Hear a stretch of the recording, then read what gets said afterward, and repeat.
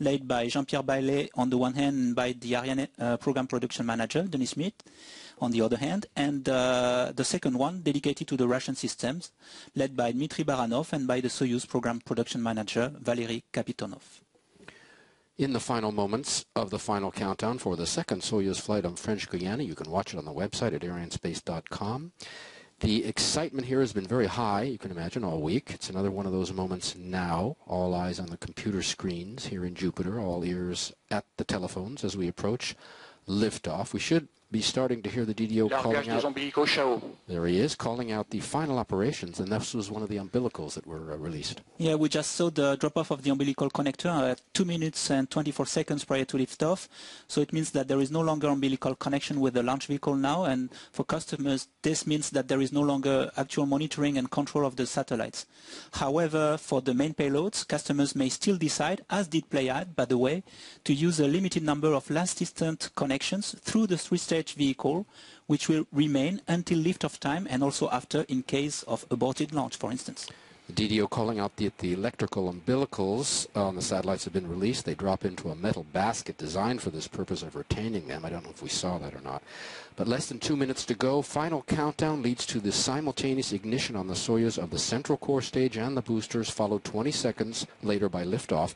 Can you please explain for us the ignition sequence? It's different from Ariane's. It'll give people an idea of what to watch for. 20 engines are lit at once. Yes, uh, the simultaneous ignition of the Soyuz first and second stages means uh, that 20 combustion chambers start to be operated, four on each strap-on booster and four on the central core. The thrust is uh, built up in three steps to enable uh, monitoring of the engine parameters and potentially abort the launch in case an anomaly is detected.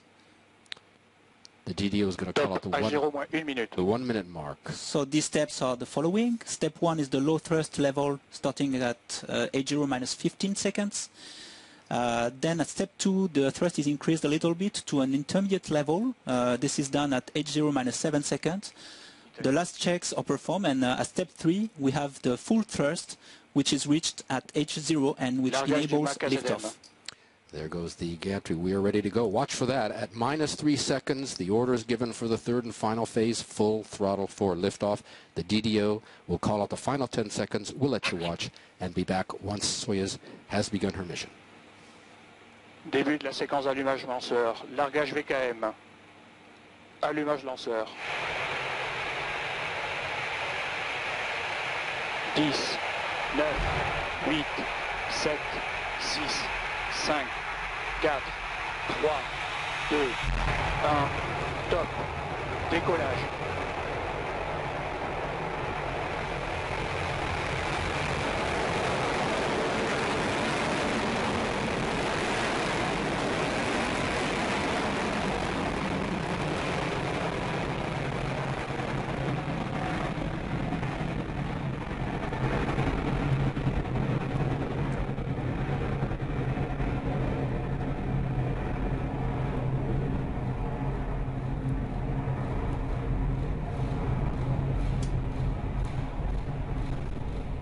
Just beautiful. Soyuz lifting off perfectly from French Guiana, beginning her 1781st mission and her second here. Some beautiful shots coming up through the clouds. It's been raining.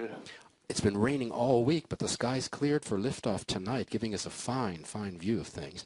DDO says all is well on board. 313 tons at liftoff. That's less than half the mass of the Ariane 5, but remember Soyuz is complementary, not a competitor to Ariane 5. Lifting six satellites tonight, a total payload weighing 2.1 tons. Ariane 5 can lift roughly four or five times that much, but the boosters are the first stage. That's another difference between Soyuz and Ariane.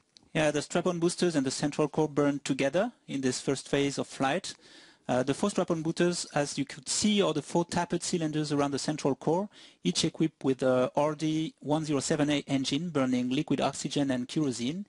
The thrust is transferred to the rest of the launch vehicle through ball joints, which are located at the top of the cone-shaped part of the boosters, each being attached to the central core by two rear struts, which break at separation once the predefined velocity has been reached. Tell us uh, something else about the central core. That's also the second stage, right? Yes, and it uses a slightly different engine, the RD108A, but it also burns liquid oxygen and kerosene, and it is reinforced on its upper cut at the interface with the strap-on boosters, boosters, to carry the loads applied by the latter. And the DDO just announced that the boosters was, uh, were properly uh, separated. This is what uh, happens up there. I think you saw that on the screen there. 47 uh, meters of altitude, roughly. Can you give us an explanation of the curve on the upper left hand of the screen? Yeah, the, uh, actually the top left is uh, velocity versus uh, distance on ground. And the bottom left uh, provides you with the sight angle, indicating uh, the direction followed by the vehicle in degrees, the altitude in kilometer, and the velocity in kilometers per second. So our altitude now 77 and climbing our speed to 2 kilometers per second. We're coming up to the next milestone jettison of the fairing. The fairing consists of two half shells, which should provide protection for the payloads during liftoff, like Ariane 5. Weighs 1,700 kilos, measures 4 meters by 11. The DDO says everything is fine. On board? Yes, the fairing is the ST large fairing tonight, by opposition to the S small fairing, which used to be the baseline for the first Soyuz Fregat flights in Baikonur. It was uh, decided uh, a few years ago to award CSKB Progress with a contract to develop the ST fairing to accommodate larger payloads, and this was made possible by the introduction of the digital control system on the Soyuz vehicle, as the former analog control system was not able to control Soyuz with such large fairing and subsequent increased aerodynamic forces on the upper part. The fairing built by TSSKB Progress at the Samara Space Center, which also designs and develops the first three stages. The satellite's going to three different orbits tonight, three different altitudes. We there's have the announcement. Uh, there's the, the fairing separation. separation. You see how that the pyrotechnic cords blowing the fairing away, getting rid of the 1,700 kilos that we don't need anymore. That's the reason why we jettison the fairing now. Uh, the reason is that at this altitude, uh, the air density in the atmosphere is very low, and therefore the aerothermal flux on the launch vehicle is considered low enough to remove the fairing, which was initially used to protect the satellites against heat and against contamination. Of course, as soon as part of the launch vehicle, uh, any part of the launch vehicle becomes useless, it should be jettisoned. And, uh, and this should be made also knowing that the fall down areas are such that no property damage, no bodily injury will be caused by the debris on Earth. You can see the satellites, uh, the top satellite, Pléiades, exposed, and the four ELISAs underneath. Coming up on the separation of the second and third stage, a particularity of the Soyuz, whereas with Ariane we separate the lower stage before igniting the upper stage, Soyuz does just the opposite. Third stage is ignited two seconds before separation of the lower stage, the second stage. The lower part of the third stage, called the skirt, is used to channel the flux of this third stage motor ignition down toward the stage below, where it rebounds, which gives an added thrust, assisting separation. And the third stage skirt is then separated 30 seconds later. We should be hearing uh, confirmation. Allumage du E.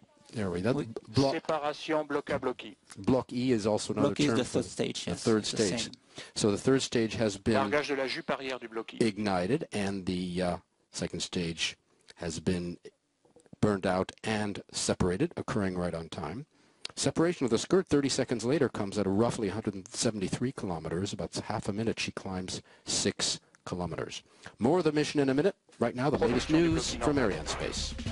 The last Arianespace mission was an historic one, the first Soyuz to lift off from French Guiana. After a flawless countdown on October 21st, Soyuz delivered her payloads, the first two satellites in the Galileo constellation, Europe's global positioning fleet. It was a milestone in space history.